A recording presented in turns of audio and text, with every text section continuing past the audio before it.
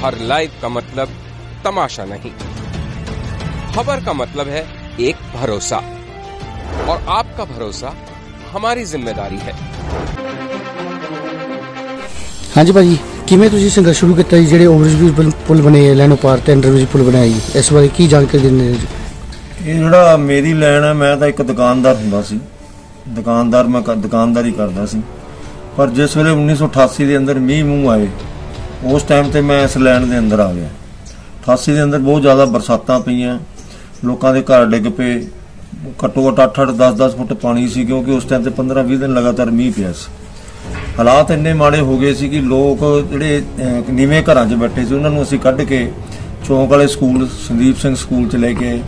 ਟਿੱਬੇ ਜਿੱਥੇ ਟਿੱਬੇ ਉੱਚੇ ਸਥਾਨ ਸੀ, ਉੱਥੇ ਲੈ ਕੇ ਆਏ, ਧਰਮਸ਼ਾਲਾਵਾਂ 'ਚ ਲੈ ਕੇ ਆਏ। ਉੱਥੇ ਇਹਨਾਂ ਨੂੰ ਬਿਠਾਇਆ ਤੇ ਉੱਥੇ ਰੋਟੀ ਰੋਟੀ ਲੰਗਰਾਂ ਦਾ ਇੰਤਜ਼ਾਮ ਕੀਤਾ। ਉਸ ਟਾਈਮ ਤੇ ਕੋਈ ਸੁਣਵਾਈ ਨਹੀਂ ਸੀ ਹੁੰਦੀ। ਉਦੋਂ ਬਾਅਦ ਫਿਰ ਮੈਂ ਵਾਪਸ ਦੁਕਾਨਦਾਰੀ ਨਹੀਂ ਮੁੜ ਗਿਆ। ਫਿਰ ਇੱਕ ਸਾਡੇ ਲੇਡੀ ਸੀ, ਅਸ਼ਵਨੀ ਕੁਮਾਰ ਜੀ, ਸਾਡੇ ਮਿੱਤਰ ਹੈ, ਦੋਸਤ ਹੈ ਮੇਰੇ, ਭਰਾ ਵੱਡੇ। ਉਹਨਾਂ ਦੀ ਸਿਸਟਰ ਸੀ ਜਿਹੜੀ, ਉਹ ਲੈਣਾ ਦੇ ਅੰਦਰ ਜੋ ਲੰਘ ਰਹੀ ਸੀ ਤਾਂ ਲੈਣਾ ਕ੍ਰੋਸ ਹੋ ਗਈ। ਉੱਥੇ 245 ਇਹ ਫਾਟਕ ਹੁੰਦਾ ਸੀ ਕਿਸੇ ਟਾਈਮ ਤੇ। ਜਿਹੜਾ 4-4 5-5 ਘੰਟੇ ਕਈ ਵਾਰੀ ਬੰਦ ਰਹਿੰਦਾ ਸੀ। ਤੇ ਕਈ ਮੌਤਾਂ ਵੀ ਉੱਥੇ ਹੋ ਜਾਂਦੀਆਂ ਸੀ। ਕੋਈ ਲੈਣਾ ਥੱਲੇ ਕੱਟ ਜਾਂਦਾ ਸੀ, ਕੋਈ ਫਾਟਕ ਵੀ ਅਣਗਹਿਲੀ ਬੰਦ ਕਰਕੇ ਉੱਥੇ ਡੈਥ ਹੋ ਜਾਂਦੀ ਸੀ।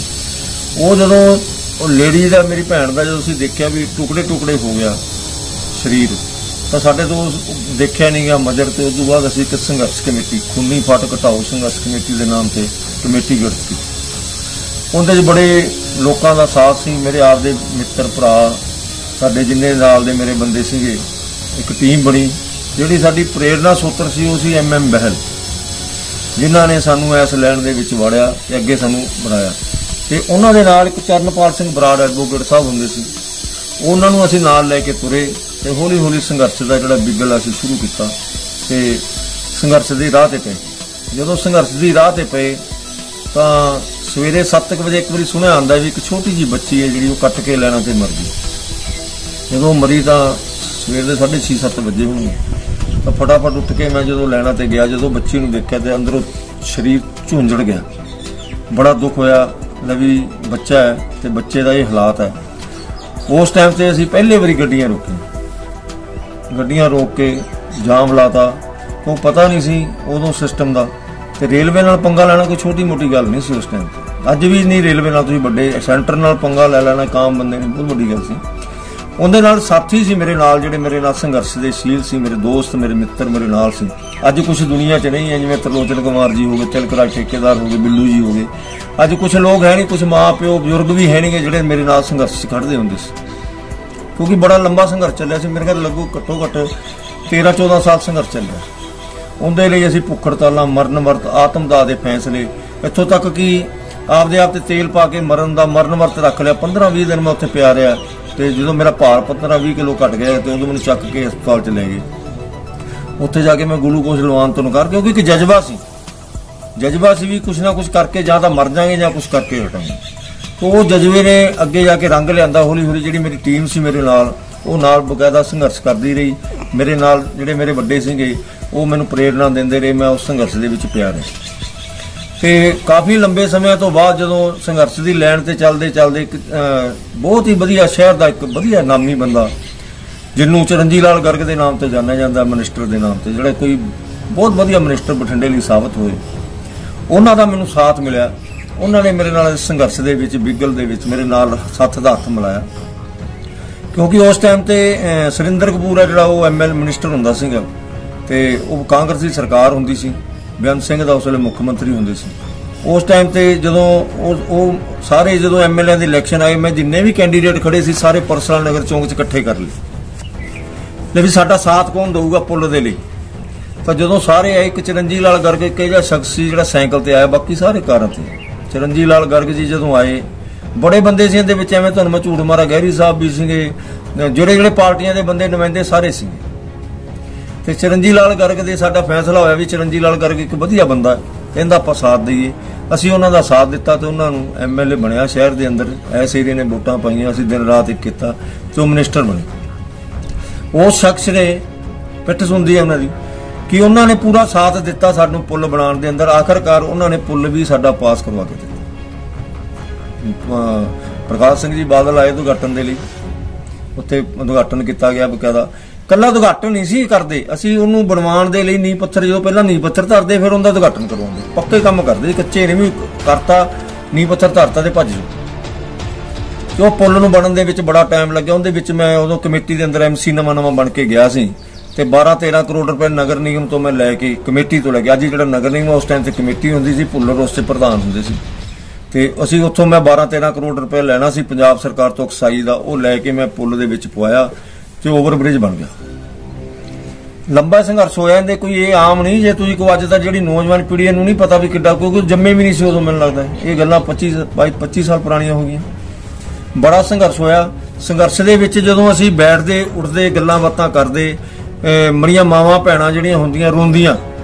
ਜਦੋਂ ਮੈਂ ਸੰਘਰਸ਼ ਦੀ ਗੱਲ ਕਰਦਾ, ਰੋਂਦੀਆਂ, ਕਿਉਂਕਿ ਜਦੋਂ ਮੈਂ ਭੁੱਖਾ ਤੇ ਆਇਆ, ਉੱਥੇ ਬਹਿ ਜਾਂਦਾ, ਕਦੇ ਭੁੱਖ ਹੜਤਾਲ ਕਦੇ ਮਰਨ ਵਰਤ, ਕਦੇ ਆਤਮ ਦਾ ਕਦੇ ਜਦੋਂ ਮੈਂ ਤੇਲ ਪਾਣ ਦੀ ਗੱਲ ਕੀਤੀ, ਮੈਂ ਆਪਦੇ ਆਪ ਨੂੰ ਅੱਗ ਲਾ ਲੂੰਗਾ, ਜੇ ਪੁੱਲ ਨਹੀਂ ਬਣੂਗਾ, ਤੇ ਇਸ ਏਰੀਆ ਦੇ ਅੰਦਰ ਇੱਕ ਮਾਤਮ ਛਾ ਗਿਆ ਮਾਤਮ ਇਹ ਜਿਹਾ ਸੀ ਕਿ ਘਰਾਂ 'ਚ ਰੋਟੀ ਨਹੀਂ ਬਣੀ। ਜਨਾਨੀਆਂ, ਲੇਡੀ ਮੇਰੇ ਨਾਲ ਬੜਾ ਪਿਆਰ ਕਰਦੀਆਂ ਸੀ ਵਿਚਾਰੀਆਂ। ਮਾਵਾਂ ਜਿਹੜੀਆਂ ਮੇਰੀਆਂ ਬਜ਼ੁਰਗ ਸੀ, ਮੇਰੀਆਂ ਭੈਣਾਂ, ਉਹ ਕਹਿੰਦੀਆਂ ਵੀ ਇਹ ਡਿਸੀਜਨ ਤੂੰ ਵਾਪਸ ਲੈ। ਮੈਂ ਕਿਹਾ ਵੀ ਡਿਸੀਜਨ ਵਾਪਸ ਨਹੀਂ ਲੈਂਦਾ, ਹੁਣ ਮੈਂ ਤਾਂ ਜਾਂ ਮਰੂੰਗਾ ਜਾਂ ਮੈਂ ਪੁੱਲ ਬਣਵਾ ਕੇ ਕਿਉਂਕਿ ਬੜਾ ਜਜ਼ਬਾ ਸੀ ਅੰਦਰ। ਤਾਂ ਉਸ ਟਾਈਮ ਤੇ ਜਦੋਂ ਮੈਂ ਉੱਥੇ ਮਰਨ ਵਰਤ ਤੇ ਬੈਠ ਗਿਆ ਤੇ ਲੋਕ ਮੇਰੀ ਪ੍ਰਕਰਮਾ ਐ ਕਰਕੇ ਜਾਂਦੇ ਸੀ ਜਿਵੇਂ ਲਾਸਟ ਵਾਰੀ ਮੂੰਹ ਦੇਖਣਾ ਹੋਵੇ। ਬੜੀਆਂ ਲੈਣਾ ਲੱਗੀਆਂ ਰਹਿੰਦੀਆਂ ਉੱਥੇ। ਹਜ਼ਾਰਾਂ ਦੀ ਗਿਣਤੀ 'ਚ ਇਕੱਠ ਹੋ ਜਾਂਦਾ। ਮੈਂ ਨਹੀਂ ਕਹਿੰਦਾ ਵੀ ਮੈਂ ਇਕੱਲੇ ਨਹੀਂ ਕੀਤਾ। ਸਾਰਾ ਮੱਲਾ, ਸਾਰੇ ਲੋਕ ਅੱਜ ਜਿਹੜੇ ਦੁਨੀਆ 'ਚ ਨਹੀਂ, ਉਹ ਵੀ ਸਾਡੇ ਨਾਲ ਸੀ। ਜਿਹੜੇ ਅੱਜ ਨੌਜਵਾਨ ਪੀੜ੍ਹੀ ਹੈ ਨਾ, ਜਿਨ੍ਹਾਂ ਨੂੰ ਨਹੀਂ ਪਤਾ, ਇਹਨਾਂ ਦੇ ਮਾਪਿਓ ਇਹਨਾਂ ਦੇ ਬਜ਼ੁਰਗ, ਇਹ ਮੇਰੇ ਨਾਲ ਹੁੰਦੇ ਸੀ। ਅੱਜ ਜਿਹੜੇ ਸੰਸਾਰ 'ਚ ਨਹੀਂ, ਮੈਂ ਤਾਂ ਉਹਨਾਂ ਨੂੰ ਸਲੂਟ ਕਰਦਾ ਕਿ ਉਹਨਾਂ ਦੇ ਆਸ਼ੀਰਵਾਦ ਨਾਲ ਹੀ ਮੈਂ ਇੱਥੇ ਤੱਕ ਪਹੁੰਚ ਸਕਿਆ। ਇੱਕ ਛੋਟਾ ਜਿਹਾ ਦੁਕਾਨਦਾਰ ਹੁੰਦੇ ਹੋਏ ਕਿੰਦਾ ਨਾਮ ਸੀ? ਅੱਜ ਮੇਰਾ ਨਾਮ ਪੰਜਾਬ ਦੇ ਅੰਦਰ ਹੈ। ਹਿੰਦੁਸਤਾਨ ਦੇ ਅੰਦਰ ਮੇਰਾ ਨਾਮ ਚੱਲਦਾ। ਇਹਦੀ ਰਿਸ਼ਤੇਦਾਰ ਨੇ ਵੀ ਕੋਈ ਵਿਰੋਧਤਾ ਕੀਤੀ ਜੀ ਜੇ ਸੰਘਰਸ਼ ਕਰ ਰਹੇ ਸੀ ਤੁਸੀਂ? ਵਿਰੋਧਤਾ ਤਾਂ ਸ਼ੁਰੂ ਤੋਂ ਚੱਲਦੀ ਆਈ ਹੈ। ਇਹ ਤਾਂ ਕੋਈ ਵਿਰੋਧਤਾ ਤਾਂ ਇਹਦੀ ਇੰਨੀ ਕੀਤੀ ਗਈ ਕੋਈ ਮੈਂ ਤੁਹਾਨੂੰ ਕਹਿ ਨਹੀਂ ਸਕਦਾ। ਮੈਂ ਤਾਂ ਜਿਹੜਾ ਕੰਮ ਕਰਦਾ ਹੁੰਦੀ ਵਿਰੋਧਤਾ ਪਹਿਲਾਂ ਖੜੀ ਹੋ ਜਾਂਦੀ। ਨਹੀਂ ਰਿਸ਼ਤੇਦਾਰ ਦੀ ਗੱਲ ਕਰੀਏ ਜੀ ਜੇ ਰਿਸ਼ਤੇਦਾਰ ਕਹਿੰਦੇ ਹੁਣ ਬੀਬੀ ਜੀ ਤੁਸੀਂ ਕਿਹੜੇ ਕੰਮ 'ਚ ਪੈ ਗਏ ਹੋ? ਹਾਂ ਘਰ ਪਰਿਵਾਰ ਦੇ ਵਿੱਚ ਤਾਂ ਰੋਲਾ ਰਹਿੰਦਾ ਹੀ ਹੈ। ਘਰ ਪਰਿਵਾਰ ਵਾਲੇ ਕਹਿੰਦੇ ਵੀ ਤੁਸੀਂ ਕਿਹੜੀ ਲਾਈਨ 'ਚ ਪੈ ਗਏ? ਬੱਚੇ ਵੀ ਹੁਣ ਬਰੋਦ ਮੇਰਾ ਵਿਆਹ ਵੀ ਨਹੀਂ ਸੀ ਹੋਇਆ। ਬੱਚੇ ਵੀ ਹੁਣ ਮੈਨੂੰ ਕਹਿੰਦੇ ਆ ਵੀ ਕਿਹੜੀ ਲਾਈਨ 'ਚ ਆ ਗਿਆ। ਤੇ ਮੇਰੀ ਛੋਟੀ ਜਿਹੀ ਮੈਨੂੰ ਯਾਦ ਹੈ ਕਿਉਂਕਿ ਸੰਘਰਸ਼ ਬੜਾ ਲੰਬਾ ਸੀ। ਮੇਰੀ ਮਾਂ ਉਦੋਂ ਜਿੰਦਾ ਸੀ। ਮੇਰੀ ਮਾਂ ਵਿਚਾਰੀ ਬਜ਼ੁਰਗ ਹੁੰਦੀ ਹੋਈ 65 70 ਸਾਲ ਦੀ ਉਮਰ ਦੇ ਅੰਦਰ ਉੱਥੇ ਸੰਘਰਸ਼ ਕਰਦੀ ਤੇ ਮੈਨੂੰ ਪੁਲਿਸ ਚੱਕ ਕੇ ਲੈ ਜਾਂਦੀ, ਲਾਠੀਆਂ ਮਾਰਦੀ, ਲੈ ਜਾਂਦੀ, ਪਰਚੇ ਦੇ ਦਿੰਦੀ। ਉਹ ਕੋਈ ਇੱਕ ਵਾਰੀ ਨਹੀਂ ਸੀ ਹੋਇਆ। ਇਹ ਲਗਾਤਾਰ 14 ਸਾਲਾਂ ਦੇ ਅੰਦਰ ਮੇਰੇ ਕੋਲ ਸੈਂਕੜੇ ਵਾਰੀ ਗੱਡੀਆਂ ਰੁਕੀਆਂ ਸੈਂਕੜੇ ਵਾਰੀ ਧਰਨੇ ਲੱਗੇ ਸੈਂਕੜੇ ਰੈਲੀਆਂ ਹੋਈਆਂ। ਬਹੁਤ ਕੁਝ ਹੁੰਦਾ ਰਿਹਾ। ਤੇ ਉਦੋਂ ਵਿੱਚ ਮੇਰੀ, ਮੇਰਾ ਵਿਆਹ ਵੀ ਹੋ ਗਿਆ ਉਸ ਦਰਮਿਆਨ। ਉਹ ਵਿਆਹ ਦੇ ਵਿੱਚ ਮੇਰੇ ਜਵਾਕ ਹੋਏ ਦੋਨੇ। ਛੋਟੇ ਛੋਟੇ ਹੁੰਦੇ ਸੀ, ਧੁੰਦਾਂ ਪੈਂਦੀਆਂ, ਮੀਂਹ ਪੈਂਦੇ, ਮੇਰੇ ਜਦੋਂ ਮੈਨੂੰ ਪੁਲਿਸ ਚੱਕ ਕੇ ਲੈ ਜਾਂਦੀ ਤੇ ਮੇਰਾ ਪਰਿਵਾਰ ਉੱਥੇ ਬਹਿ ਜਾਂਦਾ। ਮੇਰੀ ਘਰ ਵਾਲੀ ਸ਼ਮਾ ਰਾਣੀ ਐਮਸੀ ਬਣੀ, ਲੋਕਾਂ ਨੇ ਬਣਾਈ। ਉਹ ਮੇਰੇ ਬੱਚ- ਮੇਰੀ ਗੁੜੀਆ ਉਦੋਂ ਭਾਵਿਕਾ ਸ਼ਰਮਾ, ਛੋਟੀ ਜਿਹੀ ਬੇਟੀ ਹੁੰਦੀ ਸੀ, ਅੱਜ ਤਾਂ ਵੱਡੀ ਹੋਈ ਪਈ ਹੈ 22 23 ਸਾਲਾਂ ਦੀ, ਉਦੋਂ 6 ਮਹੀਨਿਆਂ ਦੀ ਸੀ। ਮੇਰਾ ਬੇਟਾ ਸਾਲ 2 ਸਾਲ ਦਾ ਹੋਊਗਾ। ਉਸ ਟਾਈਮ ਤੇ ਰਾਤਾਂ ਰਾਤਾਂ ਵੀ ਅਸੀਂ ਫਾਟਕਾਂ ਤੇ ਬਹਿ ਕੇ ਕੱਟਦੇ ਸੀ। ਅੱਜ ਦੀ ਨੌਜਵਾਨ ਪੀੜ੍ਹੀ ਨੂੰ ਨਹੀਂ ਇਸ ਗੱਲ ਦਾ ਪਤਾ। ਕਿਉਂਕਿ ਜੇ ਜਜ਼ਬੇ ਨੂੰ ਸਮਝਦੇ ਹੋਣ ਤਾਂ ਦੇਖਣ ਵੀ ਇਹ ਬੰਦੇ ਦਾ ਕੀ ਕੁਰਬਾਨੀ ਦਿੱਤੀ ਐ ਇਸ ਏਰੀਏ ਲਈ। ਜਦੋਂ ਪੁੱਲ ਬਣ ਕੇ ਤਿਆਰ ਹੋ ਗਿਆ ਤਾਂ ਉਸ ਤੇ ਲਾਈਟਾਂ ਨਹੀਂ ਲੱਗੀਆਂ। ਫਿਰ ਮੈਂ ਆਪਦੇ ਕੋਲੋਂ ਲਾਈਟਾਂ ਲਾਈਆਂ, ਆਪ ਹੀ ਤਾਰਾਂ ਪਾਤੀਆਂ। ਫਿਰ ਮਜਬੂਰ ਹੋ ਕੇ ਉਦੋਂ ਸੁਰਿੰਦਰ ਸਿੰਘ ਲਾ ਹੁੰਦਾ ਸੀਗਾ ਮਿਨਿਸਟਰ, ਉਹਨਾਂ ਨੇ ਮਜਬੂਰ ਹੋ ਕੇ ਉੱਥੇ ਲਾਈਟਾਂ ਲਵਾਈਆਂ। ਪੁੱਲ ਚੱਲ ਪਿਆ। ਪੁੱਲ ਦਾ ਉਦਘਾਟਨ ਨਹੀਂ ਮੈਂ ਕਿਸੇ ਨੂੰ ਕਰਨ ਦਿੱਤਾ, ਕਿਉਂਕਿ ਸੰਘਰਸ਼ ਦੀ ਦੇਣ ਸੀ, ਲੋਕਾਂ ਦਾ ਸਾਥ ਸੀ। ਉਹਦਾ ਉਦਘਾਟਨ ਵੀ ਅਸੀਂ ਇੱਕ ਵਾਰੀ ਦੁਸਹਿਰੇ ਦੀ ਝਾਕੀ ਲੈ ਕੇ ਨਿਕਲ ਗਏ ਸੀ। ਤਾਂ ਉਹ ਸ੍ਰੀ ਰਾਮਚੰਦਰ ਜੀ ਜਿਹੜੇ ਸਾਡੇ ਬਣੇ ਹੋਏ ਸੀ ਸ਼ਿਤ ਕੁਮਾਰ ਜੀ ਭੱਟਾਚਾਰੀ ਤੇ ਲਕਸ਼ਮਣ ਜੀ ਬਲਦੇਵ ਜੀ ਅਸੀਂ ਇਹਨਾਂ ਤੋਂ ਨਾਰੀਅਲ ਤੜਵਾਇਆ ਤੇ ਜੈ ਸ੍ਰੀ ਰਾਮ ਕਹਿ ਕੇ ਪੁੱਲ ਖੋਲ ਓਵਰਬ੍ਰਿਜ ਦੀ ਗੱਲ ਕਰੀਏ ਓਵਰਬ੍ਰਿਜ ਦੀ ਗੱਲ ਹੀ ਕਰ ਰਹੇ ਅੱਛਾ ਅੰਡਰਬ੍ਰਿਜ ਤਾਂ ਉਦੋਂ ਬਾਅਦ ਸ਼ੁਰੂ ਹੋਇਆ ਜਦੋਂ ਓਵਰਬ੍ਰਿਜ ਬਣ ਗਿਆ। ਲੋਕ ਕਹਿੰਦੇ ਵੀ ਦੂਰ ਪੈਂਦਾ ਤੇ ਲੱਗਦਾ ਵੀ ਸੀ ਦੂਰ ਹੈ ਕਿਉਂਕਿ ਨਵਾਂ ਨਵਾਂ ਸੀਗਾ। ਤੇ ਸਾਨੂੰ ਤਾਂ ਐ ਲੱਗਿਆ ਸੀ ਵੀ ਪੁੱਲ ਬਣ ਗਿਆ, ਕਿਉਂਕਿ ਸਾਨੂੰ ਸਮਝ ਤਾਂ ਹੈ ਨਹੀਂ ਸੀ ਇਸ ਗੱਲ ਦੀ। ਸਾਨੂੰ ਤਾਂ ਐ ਸੀ ਪੁੱਲ ਬਣ ਗਿਆ ਵੀ ਲੈਣਾ ਦੇ ਥੱਲੇ ਕੋਈ ਬੰਦਾ ਨਹੀਂ ਆ ਕੇ ਮਰੂਗਾ, ਕੋਈ ਫਾਟਕਾਂ ਤੇ ਬੰਦਾ ਨਹੀਂ ਮਰੂਗਾ। ਸਾਡੀ ਤਾਂ ਸੋਚ ਇੰਨੀ ਕੁ ਸੀ। ਅਸੀਂ ਜੀਐਮ ਦੀਆਂ ਗੱਡੀਆਂ ਰੋਕ ਲੈਣੀਆਂ, ਚੇਅਰਮੈਨ ਦੀਆਂ ਗੱਡੀਆਂ ਰੋਕ ਲੈਣੀਆਂ, ਕੋਈ ਵੀ ਮਿਨਿਸਟਰ ਇੱਥੋਂ ਲੰਘਦਾ ਸੀ, ਉਹਦੀਆਂ ਗੱਡੀਆਂ ਰੋਕ ਹੀ ਲੈਣੀਆਂ, ਰੇਲ ਮੰਤਰੀ ਹੋਵੇ, ਕੋਈ ਹੋਵੇ। ਉਹਦੇ ਲਈ ਬੜਾ ਸੰਘਰਸ਼ ਕੀਤਾ, ਦਿਨ ਰਾਤ ਤਾਂ ਰਾਤਾਂ ਥਾਣਿਆਂ 'ਚ ਵੀ ਕੱਟੀਆਂ, ਜੇਲ੍ਹਾਂ 'ਚ ਵੀ ਕੱਟੀਆਂ, ਬੜਾ ਸੰਘਰਸ਼ ਦੇ ਵਿੱਚੋਂ ਦੌਰ 'ਚੋਂ ਨਿਕਲਿਆ ਮੈਂ। ਤੇ ਉਹ ਸੰਘਰਸ਼ ਦੇ ਦੌਰ ਦੇ ਵਿੱਚੋਂ ਜਦੋਂ ਇਹ ਗੱਲ ਪੁੱਲ ਬੱਲ ਬਣ ਕੇ ਤਿਆਰ ਹੋ ਗਿਆ ਤਾਂ ਇੱਕ ਆਵਾਜ਼ ਉੱਠੀ ਕਿ ਪੁੱਲ ਬੜੀ ਦੂਰ ਪੈਂਦਾ। ਤੇ ਫਿਰ ਬੜਾ ਬੈਠ ਕੇ ਸੋਚਿਆ ਵੀ ਆ ਤਾਂ ਇੰਨੀ ਮਿਹਨਤ ਵੀ ਕੀਤੀ, ਪੱਲੇ ਨਹੀਂ ਪਈ। ਫਿਰ ਅਸੀਂ ਅੰਡਰਗਰਾਉਂਡ ਪੁੱਲ ਦੀ ਇੱਕ ਲੜਾਈ ਲੜੀ। ਉਹਦੇ ਅੰਦਰ ਇੱਕ ਕਮੇਟੀ ਹੋਰ ਬਣੀ ਸੀ, ਉਹ ਵੀ ਪੁੱਲ ਬਣਾਉਣਾ ਚਾਹੁੰਦੀ ਸੀ ਉੱਥੇ। ਸਾਡੇ ਵੀ ਲੜਾਈ ਸੀ ਪੁੱਲ ਦੀ, ਸਾਡਾ ਮਕਸਦ ਇੱਕੋ ਸੀ ਦੋਨੇ ਗਰੁੱਪਾਂ ਦਾ। ਪਰ ਅਸੀਂ ਗਰੁੱਪ ਅੱਡ ਅੱਡ ਸੀ। ਪਰ ਉਹ ਗਰੁੱਪ ਆਪਦੇ ਆਪਦੇ ਹਿਸਾਬ ਨਾਲ ਲੜਦਾ ਸੀ, ਅਸੀਂ ਆਪਦੇ ਹਿਸਾਬ ਨਾਲ ਲੜਦੇ ਸੀ। ਪਰ ਲੜ ਫਿੜ ਕੇ ਉਹ ਅੰਡਰਗਰਾਉਂਡ ਪੁੱਲ ਬਣਾਉਣ 'ਚ ਵੀ ਆਪਾਂ ਕਾਮਯਾਬ ਹੋ ਗਏ ਕਿਉਂਕਿ ਉਸ ਟਾਈਮ ਤੇ ਪੰਜਾਬ ਸਰਕਾਰ ਦੇ ਅੰਦਰ ਢੀਂਸਾ ਮਿਨਿਸਟਰ ਹੁੰਦਾ ਸੀ। ਉਹਨਾਂ ਨੂੰ ਅਸੀਂ ਪਾ- ਫਾਟਕਾਂ ਦੇ ਸੁਖਬੀਰ ਸਿੰਘ ਬਾਦਲ ਉਸ ਵੇਲੇ ਸੈਂਟਰ 'ਚ ਮਿਨਿਸਟਰ ਹੁੰਦੇ ਸੀ। ਉਹਨਾਂ ਨੂੰ ਲੈ ਕੇ ਮੈਂ ਜਿੱਥੇ ਅੰਡਰਗਰਾਉਂਡ 245 ਇਹ ਫਾਟਕ ਇੱਥੇ ਲੈ ਕੇ ਆਇਆ। ਮੌਕਾ ਦਿਖਾਇਆ, ਸਾਰਾ ਕੁਝ ਇਹ ਜੰਗ ਚੱਲਦੀ ਰਹੀ। 8 ਸਾਲ ਫਿਰ ਲੰਬੀ ਲੜਾਈ ਲੜੀ ਜੀ। ਉਹ ਸੇਮ ਹੀ ਸਿਸਟਮ ਜਿਹੜਾ ਓਵਰਬ੍ਰਿਜ ਦਾ ਸੀ, ਉਹ ਅੰਡਰਗਰਾਉਂਡ ਤੇ ਚੱਲਿਆ। ਕਦੇ ਜੀਐਮ ਦੀ ਗੱਡੀ ਰੋਕ ਲੈਣੀ, ਕਦੇ ਚੇਅਰਮੈਨ ਦੀ ਗੱਡੀ ਰੋਕ ਲੈਣੀ, ਕਦੇ ਕਿਸੇ ਦੀ ਗੱਡੀ ਰੋਕ ਲੈਣੀ, ਕਦੇ ਪੁਲਿਸ ਨੇ ਆ ਕੇ ਡਾਂਗਾ ਮਾਰਨੀਆਂ। ਉੱਥੇ ਛੋਣੀ ਦੀ ਤਬਦੀਲ ਹੋ ਜਾਂਦਾ, ਇੱਕ ਹਜ਼ਾਰ ਬੰਦਾ ਉੱਥੇ ਪੁਲਿਸ ਦਾ ਲਾ ਦਿੱਤਾ ਜਾਂਦਾ। ਸਾਨੂੰ ਘੇਰਾ ਪਾ ਲਿਆ ਜਾਂਦਾ, ਰਾਤੋਂ ਰਾਤ ਰਾਤੀ ਸੁੱਤੇ ਪਿਆ ਨੂੰ ਚੱਕ ਕੇ ਲੈ ਜਾਂਦੇ, ਘਰੋਂ ਲੈ ਜਾਂਦੇ, ਕਦੇ ਉੱਥੇ ਧਰਨੇ ਤੋਂ ਲੈ ਜਾਂਦੇ। ਬਹੁਤ ਲੰਬਾ ਸੰਘਰਸ਼ ਚੱਲਿਆ। 8 ਸਾਲਾਂ ਦੇ ਸੰਘਰਸ਼ ਤੋਂ ਬਾਅਦ ਅਸੀਂ ਅੰਡਰਗਰਾਉਂਡ ਬਣਾਉਣ 'ਚ ਵੀ ਕਾਮਯਾਬ ਹੋਏ। ਵੀ ਜੀ, ਇੰਨਾ ਸੰਘਰਸ਼ ਕਰਨ ਤੋਂ ਬਾਅਦ ਵੀ ਪਰਚੇ ਵੀ ਕਰਾ ਲਏ, ਤੁਸੀਂ ਜੇਲ੍ਹਾਂ ਵੀ ਦੇਖ ਲਈ ਪਰ ਲੋਕਾਂ ਸਾਥ ਨਹੀਂ ਦਿੱਤਾ ਤੁਹਾਡੇ ਹਾਲੇ ਤੱਕ। ਇਸ ਕੀ ਇੱਕ ਨਹੀਂ ਮੇਰੇ ਸਮਝ ਆਈ ਵੀ ਮੈਂ ਇੰਨਾ ਕੁਝ ਸੰਘਰਸ਼ ਕੀਤਾ। ਇਹ ਤਾਂ ਦੋ ਸੰਘਰਸ਼ ਹੈ ਤਾਂ ਪਾਣੀ ਦੀਆਂ ਟੈਂਕੀਆਂ ਵਗੈਰਾ ਇੱਥੇ ਸਿਮੈਂਟ ਦੀਆਂ ਸੜਕਾਂ ਸਭ ਤੋਂ ਪਹਿਲਾਂ ਮੈਂ ਲੈ ਕੇ ਆਇਆ ਜਿਹੜੀ ਡਿਸਪੋਜ਼ਲ ਜਿੰਦਾ ਰੋਜ਼ ਹੀ ਰੋਲਾ ਪੈ ਜਾਂਦਾ ਵੀ ਇੱਥੇ ਪਾਣੀ ਖੜਦਾ ਪਾਣੀ ਖੜਦਾ ਸਭ ਤੋਂ ਪਹਿਲਾਂ 32 ਲੱਖ ਰੁਪਇਆ ਲਾ ਕੇ ਪਹਿਲੀ ਮੀਟਿੰਗ ਜਦੋਂ ਮੈਂ ਐਮਸੀ ਬਣ ਕੇ ਗਿਆ ਤਾਂ ਉੱਥੇ ਡਿਸਪੋਜ਼ਲ ਤਿਆਰ ਕਰਵਾਈ। ਉਸ ਡਿਸਪੋਜ਼ਲ 'ਚ ਉਸ ਵੇਲੇ ਲੱਦੜ ਸਾਹਿਬ ਡੀਸੀ ਹੁੰਦੇ ਸੀ ਭੁੱਲਰ ਸਾਹਿਬ ਪ੍ਰਧਾਨ ਹੁੰਦੇ ਚਰਨਜੀਤ ਲਾਲ ਜੀ ਮਿਨਿਸਟਰ ਹੁੰਦੇ ਸਾਡੇ ਏਰੀਆ 'ਚ ਇੰਨੀ ਖੁਸ਼ੀ ਸੀ ਕਿਉਂਕਿ ਉਦੋਂ 2-2 ਇੰਚ ਦੀਆਂ ਪੈਪਾਂ ਲਾ ਕੇ ਪਾਣੀ ਕੱਢਿਆ ਜਾਂਦਾ ਸੀ। ਤੇ ਜਦੋਂ ਮੈਂ 32 ਲੱਖ ਰੁਪਇਆ ਪਾਸ ਕਰਾਇਆ, ਇੱਕ ਉਤਸ਼ਾਹ ਸੀ ਮੇਰੇ ਅੰਦਰ ਕਿ ਮੈਂ ਕੁਝ ਕਰਨਾ ਤਾਂ ਮੈਂ ਉਸ ਟਾਈਮ ਤੇ ਜਿਹੜੇ ਚਰਨਜੀਤ ਲਾਲ ਜੀ ਕਰਕੇ ਭੁੱਲਰ ਸਾਹਿਬ ਪ੍ਰਧਾਨ ਹੈ ਤੇ ਆਪਣਾ ਚਰਨਜੀਤ ਲਾਲ ਜੀ ਮਿਨਿਸਟਰ ਇਹਨਾਂ ਨੂੰ ਘੋੜਿਆਂ ਤੇ ਬਿਠਾ ਕੇ ਲੈ ਕੇ ਗਿਆ। ਘੋੜੀਆਂ ਤੇ ਬਿਠਾ ਕੇ ਢੋਲ ਟਰੱਕਿਆਂ ਨਾਲ 1.5 ਕਿਲੋਮੀਟਰ ਅੱਗੇ ਲੈ ਕੇ ਗਿਆ ਤਾਂ ਕਿ ਉੱਥੇ ਡਿਸਪੋਜ਼ਲ ਦਾ ਉਦਘਾਟਨ ਹੋਇਆ, ਜਿਹੜਾ ਪਾਣੀ 15-15 ਦਿਨ ਖੜਦਾ ਸੀ 88 ਦੇ ਅੰਦਰ ਉਹ ਜਾ ਕੇ, ਆ ਕੇ ਇੱਕ ਦਿਨ ਤਿਆਰ। ਤੇ ਹੁਣ ਕੀ ਕਹਿਣਾ ਚਾਹੁੰਦੇ ਹੋ? ਅਗਲਾ ਸੰਘਰਸ਼ ਜਿਹੜੀ 2022 ਚੋਣਾਂ ਆ ਰਹੀ ਹੈ ਜੀ। ਇਸ ਨੂੰ ਲੈ ਕੇ ਕਿਵੇਂ ਦੇਖਦੇ ਹੋ ਸੰਘਰਸ਼ ਦੇ ਨਾਲ ਨਾਲ ਤਾਂ ਦੇਖੋ, ਮੈਂ ਇਕੱਲਾ ਸੰਘਰਸ਼ ਹੀ ਨਹੀਂ ਕੀਤਾ, ਮੈਂ ਸਾਰਾ ਕੁਝ ਹੀ ਕੀਤਾ। ਸੰਘਰਸ਼ ਨਹੀਂ, ਮੈਂ ਧਾਰਮਿਕ ਕੰਮ ਵੀ ਕਰਦਾ ਰਿਹਾ। ਬੜੇ ਕੰਮ ਕੀਤੇ, ਮੈਂ ਧਾਰਮਿਕ ਕੰਮ ਦੇ ਵਿੱਚ ਦੇਖ ਲਓ, ਰਾਮਲੀਲਾ ਕਰਦਾ ਰਿਹਾ, ਮੈਂ ਆਪ ਖੁਦ ਰਾਮਨ ਦਾ ਰੋਲ ਕਰਦਾ ਰਿਹਾ। ਡਾਇਰੈਕਟਰ ਵੀ ਮੈਂ ਸੀ ਪ੍ਰੋਡਿਊਸਰ ਵੀ ਮੈਂ ਸੀ। ਮੈਂ ਬੜੇ ਕਿਤੇ ਸੀਦਾ ਦਾ ਰੋਲ ਮੈਂ ਕਰਦਾ ਰਿਹਾ ਖਰਦੂਸਨ ਦਾ ਰੋਲ ਮੈਂ ਕਰਦਾ ਰਿਹਾ, ਕੁੰਭਕਰਨ ਦਾ ਰੋਲ ਮੈਂ ਕਰਦਾ ਰਿਹਾ, ਸ਼ਰਮਨ ਦਾ ਰੋਲ ਮੈਂ ਕੀਤਾ। ਮੈਂ ਬੜੇ ਰੋਲ ਵੀ ਕਰਦਾ ਰਿਹਾ ਤੇ ਆਪ ਡਾਇਰੈਕਟਰ ਵੀ ਹੁੰਦਾ ਸੀ ਤੇ ਰਾਮਲੀਲਾ ਵੀ ਕਰਦਾ ਸੀ। ਉਸ ਟਾਈਮ ਤੇ ਕੋਈ ਮਨੋਰੰਜਨ ਦਾ ਸਾਧਨ ਨਹੀਂ ਸੀ। ਹਜ਼ਾਰਾਂ ਦੀ ਤਦਾਦ ਚ ਲੋਕ ਦੇਖਣ ਆਉਂਦੇ ਸੀ ਪਰਸਨਲ ਨਗਰ ਚੌਂਕ ਚ ਰਾਮਲੀਲਾ ਕਰਦੇ ਸੀ। ਆ ਬਹਿਮਣ ਦੁਆਲੇ ਆਲੇ ਦੁਆਲੇ ਬਹਿਮਣਾਂ ਦੇ ਪਿੰਡ ਗੈਰੀ ਗੁਰੀ ਸਾਰੇ ਇੱਥੇ ਟਰਾਲੀਆਂ ਭਰ ਕੇ ਆਉਂਦੇ ਹਜ਼ਾਰਾਂ ਦੀ ਗਿਣਤੀ 'ਚ ਲੋਕ ਇਕੱਠੇ ਹੁੰਦੇ। ਨਹੀਂ 2022 ਦੀ ਇਲੈਕਸ਼ਨ ਆ ਰਹੀ ਉਹਨੂੰ ਲੈ ਕੇ ਕੀ ਦੇਖਦੇ ਹੋ ਤੁਸੀਂ? 2022 ਦੇ ਤੇ ਮੇਰਾ ਕੰਮ ਤਾਂ ਸੰਘਰਸ਼ ਕਰਨਾ ਹੈ। ਮੈਂ ਤਾਂ ਹਮੇਸ਼ਾ ਉਸ ਬੰਦੇ ਦਾ ਹੀ ਸਾਥ ਦਿੱਤਾ ਜਿਹੜਾ ਬੰਦਾ ਸਾਡੇ ਏਰੀਆ ਬਾਰੇ ਸੋਚਦਾ ਹੋਵੇ ਪਰ ਮੈਨੂੰ ਇੱਕ ਦੁੱਖ ਇੱਕ ਗਿਲਾ ਇੱਕ ਸ਼ਿਕਵਾ ਜ਼ਰੂਰ ਹੈ ਇਸ ਏਰੀਆ ਦੇ ਨਾਲ ਕਿ ਚੰਗਾ ਸਮਝ ਲਓ, ਮਾੜਾ ਸਮਝ ਲਓ ਵੀ ਮੈਂ ਇੰਨਾ ਵੱਡਾ ਸੰਘਰਸ਼ ਕੀਤਾ, ਪਰ ਮੇਰੀ ਕਦਰ ਨਹੀਂ ਸੀ। ਅਗਰ ਐਡਾ ਸੰਘਰਸ਼ ਮੈਂ ਕਿਤੇ ਮਹਾਰਾਸ਼ਟਰ 'ਚ, ਬਿਹਾਰ ਯੂਪੀ 'ਚ ਕੀਤਾ ਹੁੰਦਾ, ਦਿੱਲੀ 'ਚ ਕੀਤਾ ਹੁੰਦਾ, ਅੱਜ ਮੈਂ ਕਿਤੇ ਤੇ ਕਿਤੇ ਹੁੰਦਾ ਪਰ ਮੈਨੂੰ ਸਮਝ ਨਹੀਂ ਆਈ ਕਿ ਸਿਸਟਮ ਕੀ ਹੈ, ਕੀ ਲੋਕਾਂ ਨੂੰ ਪਤਾ ਨਹੀਂ ਜਾਂ ਕੀ ਭਾਵਨਾ ਹੈ, ਕੀ ਲੋਕਾਂ ਦੀ, ਕੀ ਸਿਸਟਮ ਦੇ ਨਾਲ ਲੋਕ ਚੱਲਦੇ ਆ ਕੀ ਭਾਲਦੇ ਆ ਲੋਕ। ਮੈਨੂੰ ਇਹ ਨਹੀਂ ਸਮਝ ਆਈ ਇਹ ਜਦ ਕਿ ਮੈਂ ਇੰਨਾ ਸੰਘਰਸ਼ ਕੀਤਾ, ਮੈਨੂੰ ਐ ਸੀ ਵੀ ਮੈਨੂੰ ਲੋਕ ਨਿਰਵਿਰੋਧ ਘਰੇ ਬੈਠੇ ਚ- ਜਿਤਾਇਆ ਕਰਨਗੇ, ਕਿਉਂਕਿ ਮੈਂ ਕੰਮ ਹੀ ਇੰਨਾ ਕੀਤਾ। ਔਰ ਕੰਮਾਂ ਦੇ ਨਾਲ ਨਾਲ ਧਾਰਮਿਕ ਕੰਮ ਵੀ ਕਰਦਾ ਰਿਹਾ। ਰਾਮਲੀਲਾ, ਗਣੇਸ਼ ਉਤਸਵ, ਦੁਰਗਾ ਪੂਜਾ, ਰਾਮ ਕਥਾ, ਭਗਵਤ ਕਥਾ, ਕੋਈ ਮੈਂ ਛੱਡਿਆ ਨਹੀਂ, ਕੋਈ ਵੀ ਹੋਵੇ। ਕੋਈ ਵੀ ਝਾਕੀ ਚੌਂਕ ਚੋਂ ਨਿਕਲੀ ਹੋਵੇ, ਉਹਦੇ ਲਈ ਮੈਂ ਬਕਾਇਦਾ ਲੰਗਰ, ਲੰਗਰਾਂ ਦਾ ਇੰਤਜ਼ਾਮ ਕਰਦਾ ਤੀਆਂ ਦਾ ਮੇਲਾ, ਸਭ ਤੋਂ ਪਹਿਲਾਂ ਮੈਂ ਲਾਣਾ ਸ਼ੁਰੂ ਕੀਤਾ। ਹਜ਼ਾਰਾਂ ਦੀ ਤਜਾਜ ਮੇਰੀਆਂ ਭੈਣਾਂ ਆਉਂਦੀਆਂ ਤੇ ਉੱਥੇ 30 30 ਸਟਾਲਾਂ ਲੱਗਦੀਆਂ। ਹਾਂਜੀ? ਦੁਸਹਿਰਾ ਮਨਾਇਆ, ਬਠਿੰਡੇ ਦੇ ਨਹੀਂ ਪੰਜਾਬ 'ਚ ਇੱਕ ਨੰਬਰ ਤੇ ਆਂਦਾ ਦੁਸਹਿਰਾ। ਬੜਾ ਵੱਡਾ ਦੰਦ ਸੀ, ਦੁਸਹਿਰਾ ਬਹੁਤ ਵੱਡਾ ਸੀ।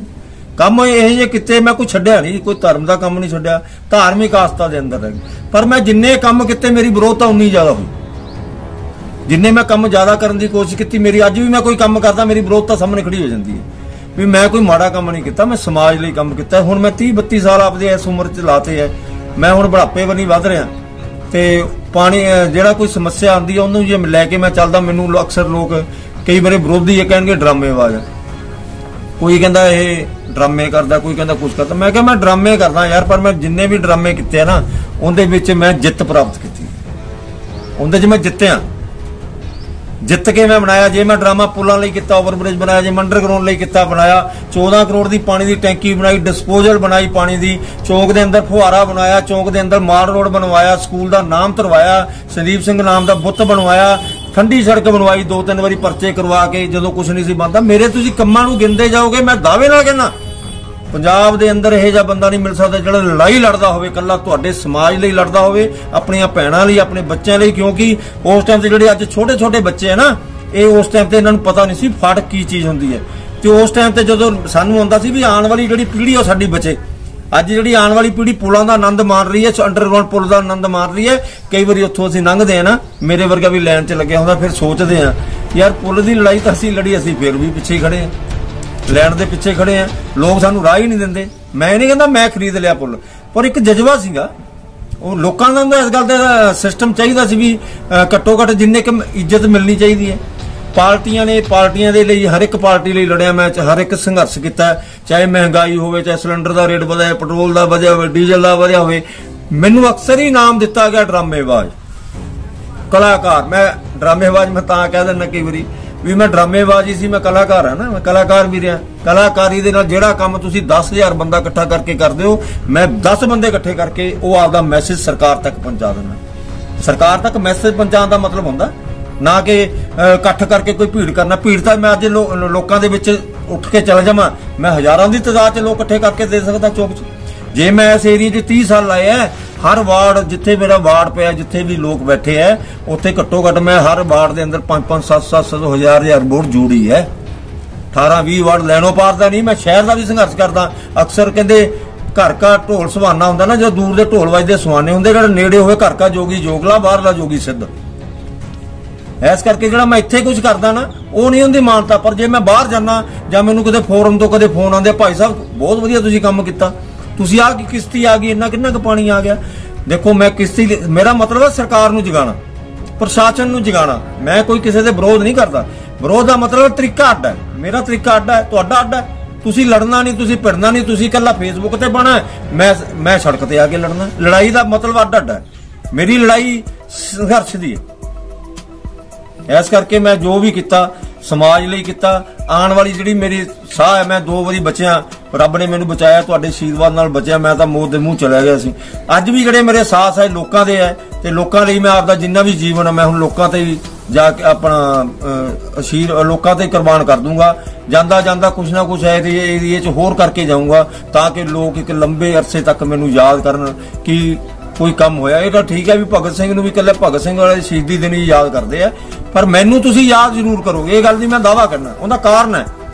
ਰਾਮਲੀਲਾ ਹੋਊਗੀ ਮੈਨੂੰ ਯਾਦ ਕਰੋਗੇ ਦਸਹਿਰਾ ਹੋਊਗਾ ਮੈਨੂੰ ਯਾਦ ਕਰੋਗੇ ਗਣਪਤੀ ਉਤਸਵ ਹੋਊਗਾ ਮੈਨੂੰ ਤਿਆਰ ਕਰੋਗੇ ਯਾਦ ਕਰੋਗੇ ਅੰਡਰਗਰਾਉਂਡ ਚੋਂ ਲੰਘੋਗੇ ਮੈਨੂੰ ਤਿਆਰ ਯਾਦ ਕਰੋਗੇ ਓਵਰ ਬ੍ਰਿਜ ਲੰਘੋਗੇ ਯਾਦ ਕਰੋਗੇ ਪੀਣ ਵਾਲਾ ਪਾਣੀ ਪੀਓਗੇ ਕਿਉਂਕਿ ਉਹ ਟੈਂਕੀਆਂ ਮੇਰੀਆਂ ਬਣਾਈਆਂ ਯਾਦ ਕਰੋਗੇ ਜਦੋਂ ਬਰਸਾਤੀ ਪਾਣੀ ਦੀ ਗੱਲ ਆਊਗੀ ਮੈਨੂੰ ਯਾਦ ਕਰੋ ਜਦੋਂ ਤੀਆਂ ਦਾ ਮੇਲਾ ਲੱਗੂਗਾ ਉਦੋਂ ਮੈਨੂੰ ਯਾਦ ਕਰੋਗੇ ਗਣਪਤੀ ਉਤਸਵ ਵੇਲੇ ਮੈਨੂੰ ਯਾਦ ਕਰੋਗੇ ਦਸਹਿਰੇ ਵੇਲੇ ਮੈਨੂੰ ਯਾਦ ਕਰੋਗੇ ਰਾਮਲੀਲਾ ਵੇਲੇ ਮੈਨੂੰ ਯਾਦ ਕਰੋਗੇ ਮੈਂ ਇੰਨੀਆਂ ਯਾਦਾਂ ਛੱਡ ਕੇ ਜਾਊਂਗਾ ਕਿਸੇ ਨਾ ਕਿਸੇ ਰੂਪ ਦੇ ਅੰਦਰ ਤੁਹਾਡੇ ਘਰ ਦੇ ਵਿੱਚ ਮੇਰੀ ਯਾਦ ਬਣੀ ਰਹੂ ਹਰ ਲਾਈਫ ਦਾ ਮਤਲਬ तमाशा नहीं खबर का मतलब है एक भरोसा और आपका भरोसा हमारी जिम्मेदारी